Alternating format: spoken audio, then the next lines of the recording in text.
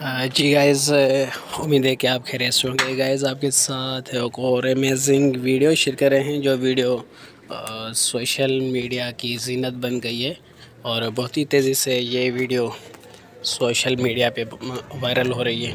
So guys अगर आप ये वीडियो मुकम्मल तौर पे मुलाहजा करना चाहते हैं तो अभी हमारे इस यूट्यूब चैनल को सब्सक्राइब कर लें, ताकि आने वाली वीडियो आप सबसे पहले देख सकें। सो गाइज़ उम्मीद है कि आपको ये वीडियो भी पसंद ज़रूर आई होगी। Thank you so much dear friend notification को बयान कर दें।